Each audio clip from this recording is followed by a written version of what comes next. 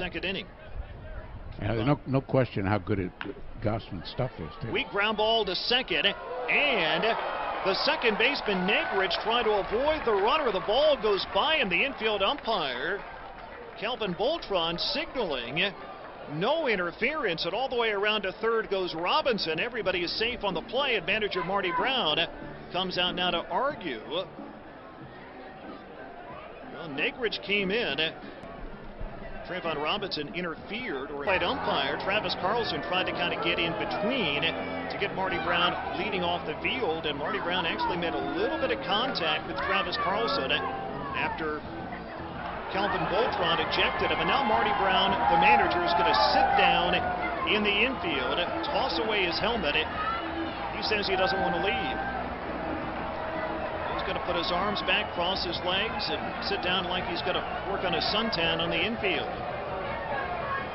This is some performance here. The umpires are going to try to walk away from him, not let him grab the stage any more than he already has.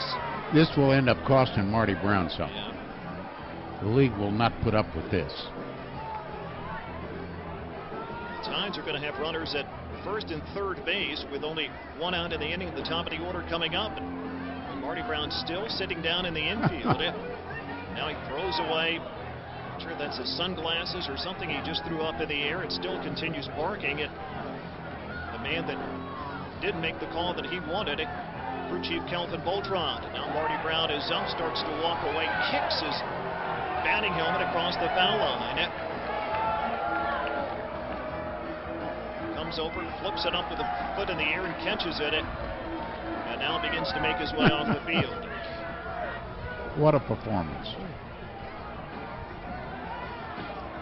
I think he's just glad to get that old-timey uniform off. So Marty Brown will have to head down the tunnelway into the clubhouse. That win is a hit then.